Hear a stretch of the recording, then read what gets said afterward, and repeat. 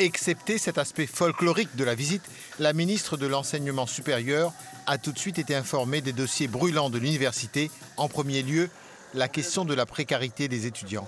On est à la cinquième année du mandat d'Emmanuel Macron. Depuis 2017, il y a eu une promesse de réformer le système actuel des bourses. On espère qu'il y ait une réelle réponse qui soit donnée à la précarité étudiante.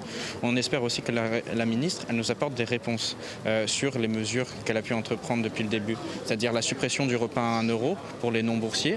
Euh, on espère lui, lui, demander et avoir des réelles réponses sur savoir euh, en quoi c'est une mesure qui accompagne les étudiants.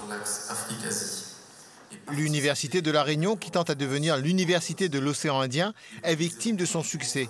Fini le temps du demi-millier d'étudiants des années 70.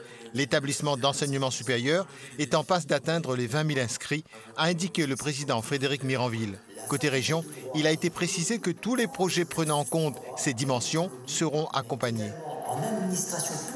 Le nombre de chambres d'étudiants, euh, il faut un partenariat global hein, entre euh, les EPCI, euh, les collectivités, peut-être le privé, l'État. Il faut une mobilisation générale sur la question du logement étudiant à La Réunion.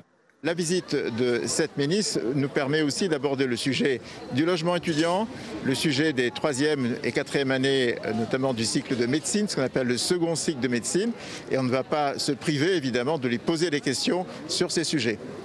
Afin d'intégrer tous les éléments dans ses prises de décision, Frédéric Vidal, la ministre de l'Enseignement supérieur, de la Recherche et de l'Innovation, a suivi pendant deux heures une présentation exhaustive du campus, mais surtout écouté le point de vue des principaux concernés, c'est-à-dire les étudiants.